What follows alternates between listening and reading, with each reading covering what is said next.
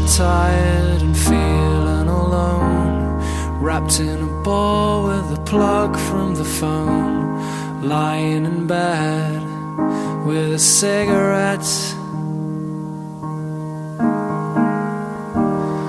All of the flowers have died in the vase. All that we are will remain in the past. It's unresolved.